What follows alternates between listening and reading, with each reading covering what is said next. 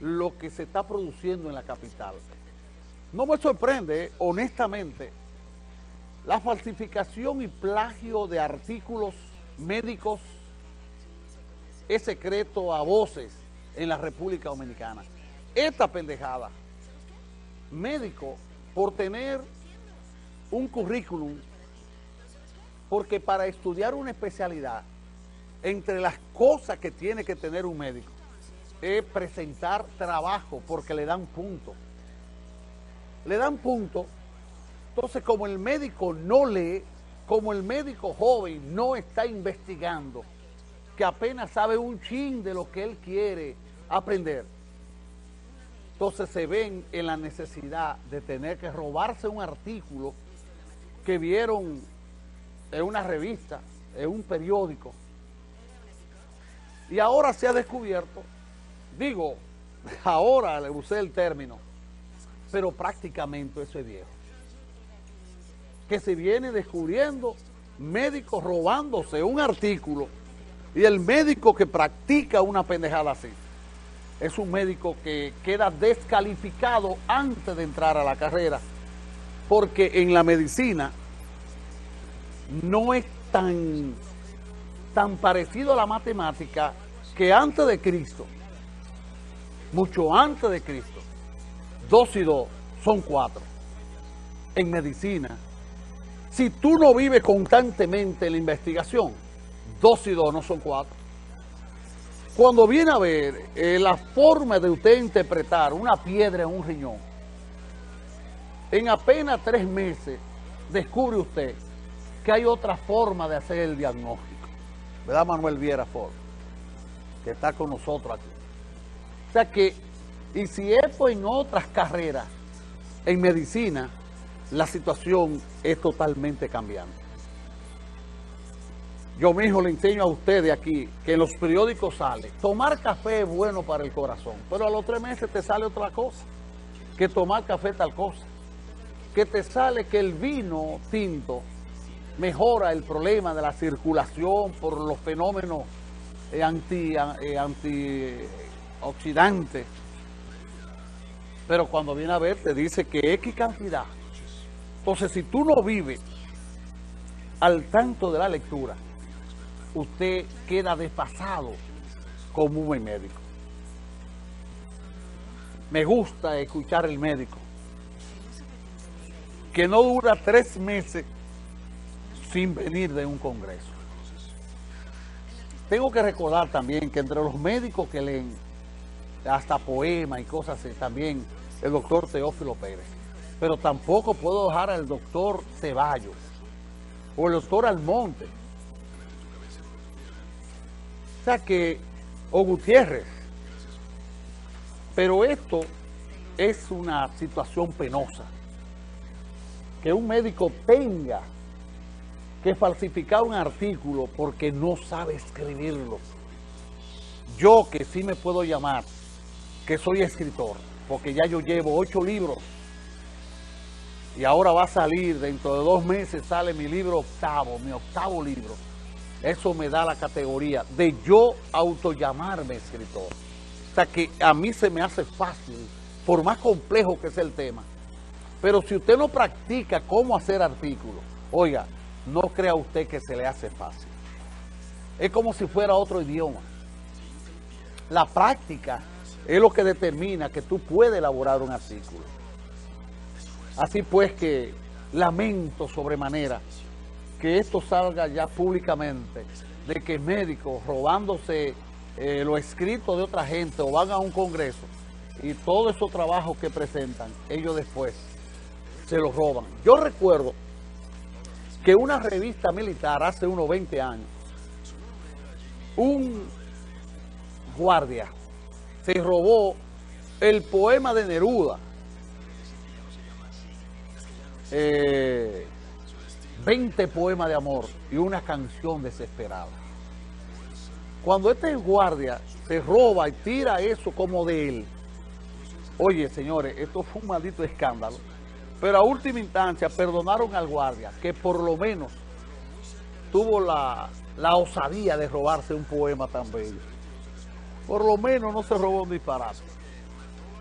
sea, que ya es un guardia, eso queda medio acotejado, pero es un médico que se robe un tratado sobre algún tipo de, de órgano. Oiga, eso, eso demuestra el por qué Danilo y los políticos de aquí pueden hacer y deshacer y no existe un pueblo que te dé respuesta porque este país cada día lo ideológico, lo doctrinario, lo moral, a nivel colectivo, a nivel de mucha gente, está perdiendo la capacidad de hacer análisis y de asumir una actitud de enojo y hasta si es posible de encojonamiento por algo que vea que no esté, que no esté bien. Mire, por ejemplo, solamente un pueblo que está perdiendo su categoría ideológica, su capacidad de interpretación política, su capacidad de, asumir algún tipo de juicio. Ah, sale un anuncio así y no pasa nada. Dice la Junta Central Electoral que se aprueba presupuesto para las elecciones del 2020, el presupuesto que se va a gastar en esa pendejada 16.400, 16.540 millones. En un país tipo Inglaterra, Australia, Francia, Canadá, donde los niveles de formación de la gente es capaz de hacer interpretaciones interesantes. Queda eso como que no está pasando nada. ¿Sabe lo que es un país pobre? Un país tirapeo. Que se den el lujo de hacer una inversión de 17, 17 mil, vamos a poner 17 mil millones de pesos para organizar un disparate que uno sabe cuáles son los resultados. Aquí ahora hay tres, cuatro posibilidades. Leonel, Danilo, Luis Abinader y vamos a incluir un poco a Hipólito Mejía. Que uno sabe que dentro de esos cuatro diablos es que está la posibilidad de ser presidente.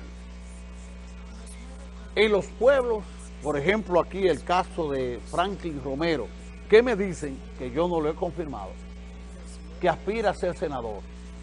Pues si como Amilcar Romero quiere seguir cuatro años más de los 16 que lleva, para llegar a 20, eso no está bien, pues ya se sabe que a nivel de senadores, ya se sabe que esos diablos son los que van a ganar. Entonces, ¿tú crees que ya uno conociendo lo que va a suceder, que se gaste 16 mil, 17 mil millones de pesos en un país pobre? Oye, lo correcto es que aquí surja un grupo a llamar a no votar. Quizá logramos, si mucha gente comienza a llamar a no votar, sabiendo uno que lo que se está invirtiendo en una democracia que no sirve para nada. Que hay algo que no sirve para nada, es la democracia dominicana. Le vengo diciendo a ustedes de hace dos años, cuando estuve en Estados Unidos, que aunque yo tengo una posición antiimperialista, o sea, la política eh, de Estados Unidos, fuera de Estados Unidos, yo soy opuesto. Pero la política a la, a la dictadura, a la disciplina de la ley que existe en Estados Unidos, yo estoy de acuerdo abiertamente. Esa dictadura que existe en Cuba, por un temor a la disciplina de la ley, eso es maravilloso. Los países se han demostrado que la democracia por sí sola es una rumba de eso. La democracia no sirve para nada es algo simbólico que le permite a los idiotas que tú tienes que respetar a los idiotas. Porque la democracia es respetar a la colectividad. Entonces, como los idiotas son tantos, tú tienes que respetar a los idiotas. Y este país está lleno, está lleno de idiotas. nuestro Congreso hay una llamada.